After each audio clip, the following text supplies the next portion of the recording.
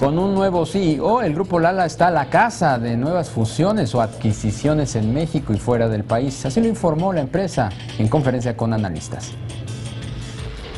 Scott Rank, quien asumió la dirección general de Grupo Lala el pasado 1 de marzo, planea llevar a cabo próximas fusiones y adquisiciones dentro y fuera de México. El directivo se encuentra evaluando las capacidades de la empresa para acelerar dichos procesos. Al respecto, Gabriel Fernández, director de finanzas de la compañía, informó que se enfocarán en encontrar las oportunidades correctas en el momento oportuno.